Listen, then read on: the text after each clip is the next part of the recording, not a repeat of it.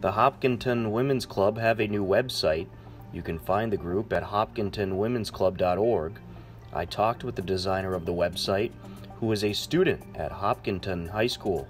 Uh, I chose an elective class, uh, web page design, uh, at school, and my teacher, Mr. McFarland, uh, taught us how to use WordPress.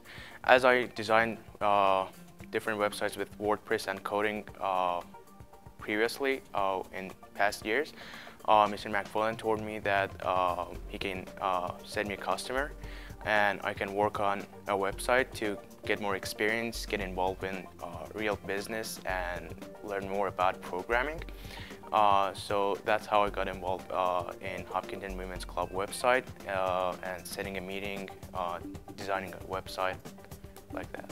Uh, I hadn't a lot of time uh, for uh, designing the website, but it took about a month to design the website the way that they wanted, with the help of Mr. McFarland, definitely.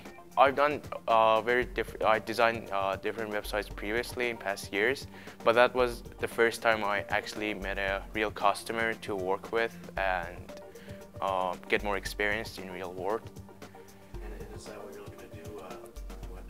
Oh yes, I'm looking for software developer and web development in the future, uh, career like that.